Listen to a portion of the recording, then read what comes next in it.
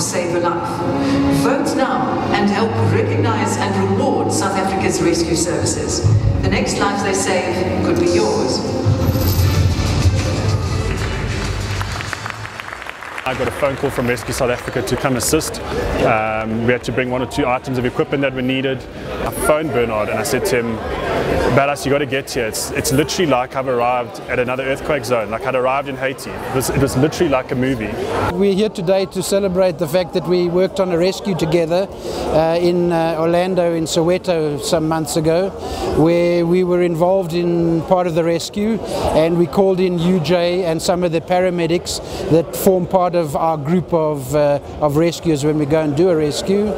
And the value that they bring to the party, of course, is the fact that they've they're specialists in uh, urban search and rescue, but they're also paramedics who were able to assist us in uh, treating the patient during the, the course of the, of the rescue.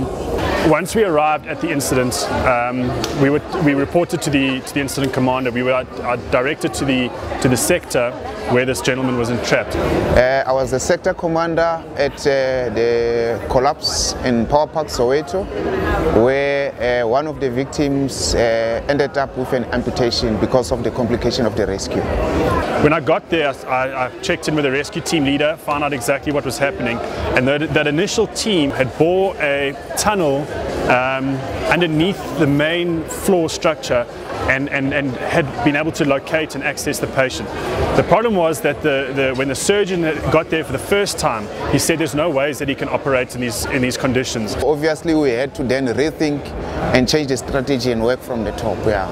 At that stage, Bernard and I had to be split up because Bernard needed to access directly underneath the patient. We took over the patient care itself, and then I worked with some of the teams on top to continue that um, breaking of the of the structure above him. As much as you have to access from the top, you still need someone to be with the patient, to monitor the patient and to make sure that the patient is safe. I essentially maintained uh, contact with the patient and I maintained patient care until we um, had a big enough space open for the surgeons to come in. Uh, there was a difference in qualification between the, the guys that managed the patient earlier and me, um, and that was essentially the reason why I took over. I could give some more medications and I could make sure that the patient is a bit more pain free than what he was prior to me getting there. This is one of the I-beams. Oh, yeah. The second I-beam is on, so this shows that the second floor.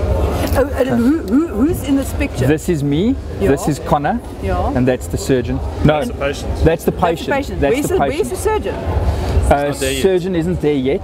We're still clearing the area. We're as well. still, we're still clearing the area. Okay. And the, the, the poor chap who was saved in the end was lying down there on his tummy, man, with something on his arm, huge steel beam. There was someone with him all the time, lying flat next to him because there wasn't enough space to, to do anything else. You'll see that I don't have a, um, a fire jacket on like that because the space to get in there was too small. I actually had to take the jacket off. And we decided to go from the top down and create space above the patient. This unfortunately involved us cutting through about uh, 12 to 20 mil thick steel, um, a lot of rebar in the concrete, a lot of concrete breaking, just to get down to that, that corrugated iron dome. Um, you know, using using the concrete breaking equipment and the and the, and the, the concrete breakers, the circular saws. What makes this different to a normal circumstance where you've got lot of space, um, this is a structural collapse incident that, that, that resulted in a confined space area that was filled with debris. We need to, to make sure that it's safe, A, for the surgical team to go in. They, they don't have rescue training. The second thing is we need to still make sure that the patient is okay by the time the surgeons or the surgical team got there. Uh, but once we had cut through the steel uh, reinforcements, were able to get down to that corrugated iron dome that he was under. The, the patient was conscious up until the point of the amputation. The patient was asked permission uh, and was explained why the amputation was necessary. The patient was awake enough to give permission before the amputation occurred. And since it was in such an enclosed place, the amputation was quite difficult. The surgeon literally had to sit on his haunches. He worked into a, into a little hole uh, or into a little area, even though we opened as much as we could. And so I directly handed over to the anaesthetist, and then after that, I took over patient care again in order to transfer the patient to the hospital. Our rescue services, as you all know, are quite fragmented.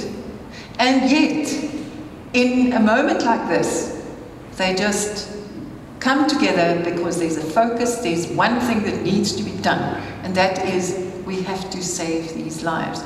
So in this instance, the City of Johannesburg, Ekurhuleni EMS, West Rand EMS, Rescue South Africa, SAPS K9 Search and Rescue, Riga Rescue, Off-Road Rescue Unit, ER24, the University of Johannesburg Medics, all worked as one unit.